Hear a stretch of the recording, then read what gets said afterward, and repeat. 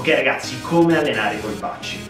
Normalmente si dice che i polpacci sono una questione di genetica, o ce li hai, sei fortunato e puoi anche non allenarli, tanto c'hai due pagnotte così, oppure non ce li hai, ti devi dannare perché sei uno sfigato e non ti cresceranno mai. È vera questa affermazione? Avete mai visto gli anziani di paese che molto spesso hanno dei polpacci grossi così che farebbero invidia a un bodybuilder? Ora potrebbe essere una questione di genetica, in effetti molto spesso lo è. Però in realtà un altro fattore determinante è il fatto che tendenzialmente sono persone attive, i paesi molto spesso hanno diverse salite, vuoi per i lavori manuali che fanno da tutta la vita, vuoi per le camminate, le passeggiate che si fanno nelle salite di paese, i polpacci sono sollecitati e allenati molto spesso. Stessa cosa avviene per soggetti obesi che normalmente hanno dei polpacci molto grandi.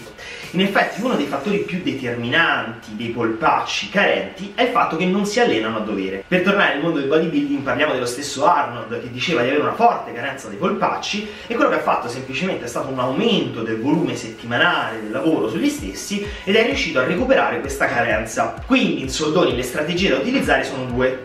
C'è chi preferisce inserire una routine singola dedicata ai polpacci settimanale quindi in questo modo si riesce ad aumentare il volume in una singola seduta e ci si concentra sul gruppo muscolare invece di lasciarlo come comunemente si fa alla fine di una seduta di gambe, chi invece preferisce inserire polpacci alla fine di ogni seduta in entrambi i casi la determinante qual è? Che si aumenterà il volume totale di allenamento settimanale, quindi sostanzialmente i polpacci saranno sollecitati maggiormente. Molto efficace come tecnica è il picco di contrazione, quindi rimanere in unisometria in alto.